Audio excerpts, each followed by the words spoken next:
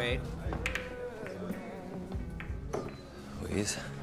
Look like you need a blowjob and a shower.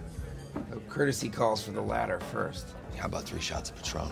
Or, how about triticum wheatgrass, excellent for the immune system. Jesus Christ, you sound like Vanessa.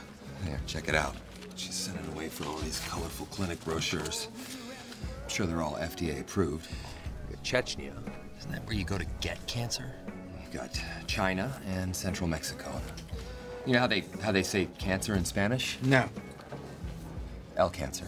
Oh, I could have guessed that. Look how happy you look here. Mind if I keep this, put it up, so I can remember? When you looked alive. At least now I'm gonna win the Deadpool, now that you're gonna die tragically of cancer. I got it. Thanks. Oh. And uh, that guy over there came in looking for you. Real Grim Reaper type. I don't know, might further the plot. Booth? Wade.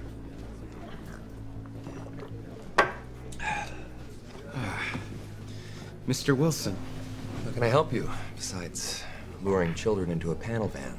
I understand you've recently been diagnosed with terminal cancer. Stalker alert. It's my job. Recruitment.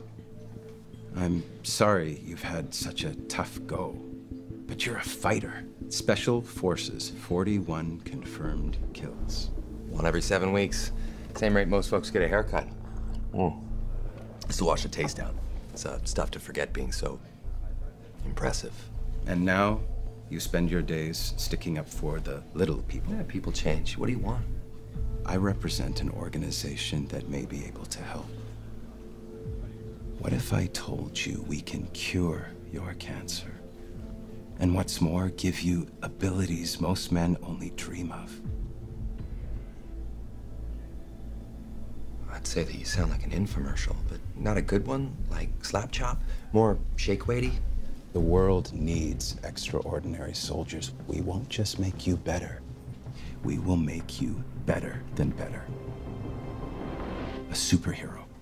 Look, Agent Smith, I tried the hero business and it left a mark. But if I ever hit fuck it, I'll look you up. Oh, uh, shit. We're within 500 yards of a school, so you may want to, you know. Yeah. His drink's on him.